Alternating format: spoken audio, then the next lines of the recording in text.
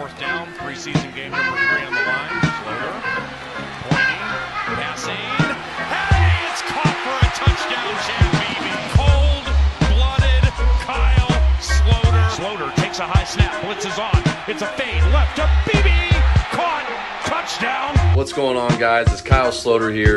Just wanted to give a huge shout out to OxyRevo for hooking me up with this new hyperbaric chamber.